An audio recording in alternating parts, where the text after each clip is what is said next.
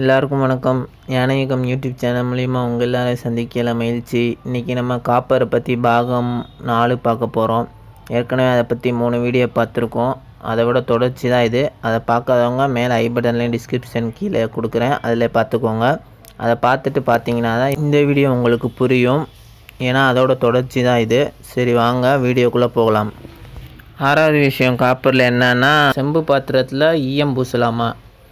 அதுக்கு முன்னாடி ஒரு விஷயம் சொல்லணும். முதல்ல எல்லாம் அந்த காலத்தில் மண் பாத்திரத்தில் தான் சமையல் பண்ணிகிட்டு இருந்தாங்க. இதுதான் இருக்கிறதுலே சிறந்தது. அதுக்கப்புறம் இரும்பு பாத்திரம் கண்டுபிடிச்சாங்க. கண்டுபிடிச்ச உடனே பார்த்தீங்கன்னா நம்ம ஆளுங்க பூராமே இரும்பு பாத்திரத்துக்கு மாறிட்டாங்க.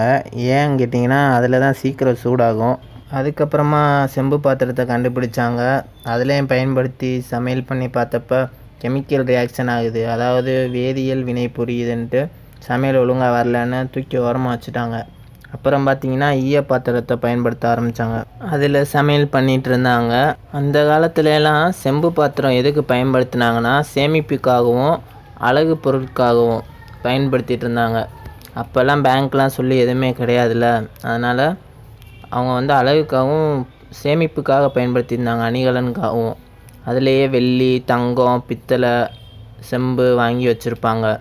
அப்போ செம்பு நல்ல மதிப்பு இருந்தனால மிடில் கிளாஸ் நடுத்தர மக்கள் வந்து செம்பு பாத்திரத்தை வாங்கி வீட்டில் வச்சுருப்பாங்க. தேவைப்பட்டால் விற்றுறது இல்லை அடமானம் வச்சுருவாங்க.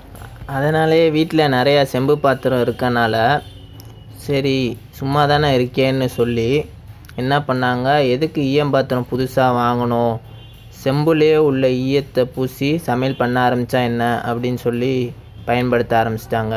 கணக்குப்படி பார்த்தீங்கன்னா நீங்கள் செம்பில் ஈயம் பூசி சமையல் பண்ணிங்கன்னா அது வந்து ஈயம் பாத்திரத்தில் சமையல் பண்ண மாதிரி தான் கணக்கு. அதனால் சும்மா இருக்கேன்னு ஈயம் பூசி பயன்படுத்த ஆரம்பிச்சிட்டாங்க. உடனே சில பேர்லாம் சொல்லுவாங்க அந்த காலத்தில் என்ன தாத்தா பாட்டிலாம் செம்பு பாத்திரங்களையா பயன்படுத்தினாங்க ஈயத்தை தானே பூசினாங்க அப்படின்னு சொல்லுவாங்க. நல்லா புரிஞ்சுக்கணும். தண்ணி குடிக்கிறப்ப அவங்க ஈயம் பூசலை. தண்ணி குடிக்கும்போது செம்பு பாத்திரத்தில் தான் குடிக்கணும். ஆனால் சமையல் பண்ணும்போது தான் கெமிக்கல் ரியாக்ஷன் வேதியியல் வினை புரியும்னு சொல்லி ஈயம் பூசினாங்களே தவிர வேறு ஒன்றும் இல்லை. அதுக்கப்புறமா அலுமினியம் வந்துச்சு. உடனே சரி என்ன பண்ணிட்டாங்க? அலுமினியம் பக்கம் போவோன்ட்டு அந்த பக்கம் சாஞ்சிட்டாங்க. செம்பில் ஈயம் பூசுறதவே நிறுத்திட்டாங்க. அதுக்கப்புறம் எவர் சில்வர் நம்ம இப்போ பயன்படுத்துகிற தட்டு அதோட பயன்படுத்த ஆரம்பிச்சிட்டாங்க. அது எல்லாத்தையும் தூக்கி சாப்பிட்ருச்சு ஏன்னா அதில் வந்து வினை புரியாது. கெமிக்கல் ரியாக்ஷன் ஆகவே ஆகாது. வீட்டில் நீங்கள் எவர் சில்வரில் தண்ணி குடிங்க சாப்பிடுங்க சமையல் பண்ணுங்கள் என்ன வேணால் பண்ணுங்கள் கெட்ட ரியாக்ஷன் நடக்காது நல்ல ரியாக்ஷனும் நடக்காது. என்ன இருக்கோ அது அப்படியே கொடுக்கும். அதே மாதிரி தான் கண்ணாடியும். கண்ணாடி பாட்டில் கண்ணாடி டம்ளர் இதுவும் பார்த்திங்கன்னா எவர் சில்வர் மாதிரி தான் எந்த ஒரு கெமிக்கல் ரியாக்ஷனும் அதாவது வேதியியல் வினை புரியாது. இதனால தான் பார்த்திங்கன்னா பல இடங்களில் இதை பயன்படுத்துகிறாங்க அதனால் செம்புக்கு அதாவது செம்பு பாத்திரத்தில் ஈயம் பூசினா மட்டும் சமையலுக்கு பயன்படுத்துங்க. ஆனால் தண்ணி வந்து செம்பு பாத்திரத்தில் தான் ஊற்றி குடிக்கணும்.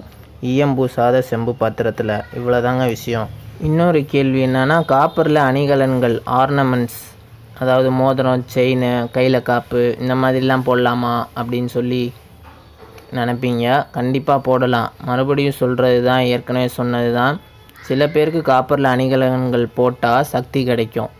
எல்லா வியாதியும் குணமாயிரும். சில பேர்த்துக்கு போட்டால் பலவீனமாக ஆகிடுவாங்க அதனால் நல்லா ஞாபகம் வச்சுக்க வேண்டிய என்னென்னா ஒரே ஒரு விஷயந்தான் எந்த பொருளும் உங்களுக்கு செட் ஆகுதோ அந்த பொருளை மட்டும் பயன்படுத்தணும். செட் ஆகலையா அந்த பொருளை பயன்படுத்த வேணாம். காப்பரில் அணிகலன்கள் ஆர்னமெண்ட்ஸ் போடுறது ரொம்ப ரொம்ப நல்லது. உங்களுக்கு ஒத்து வருதா செட் ஆகுதான்னு பாருங்கள் இல்லைன்னா போட வேண்டாம் இதை புரிஞ்சுக்கிட்டால் போதும். இந்த வீடியோ உங்களுக்கு பிடிச்சிருந்தா உங்கள் நண்பர்களுக்கு எல்லோரும் ஷேர் பண்ணுங்கள் அப்போ தான் அவங்களும் பயனடைவாங்க. அதுபோக நம்ம சேனல் பிடிச்சிருந்தா சப்ஸ்கிரைப் பண்ணி பெல் பட்டனில் ஆல்ன்ற ஆப்ஷனை கிளிக் பண்ணிக்கோங்க. அப்போ தான் தினைக்கும் நான் போடக்கூடிய வீடியோ உங்களை தேடி வரும். நன்றி.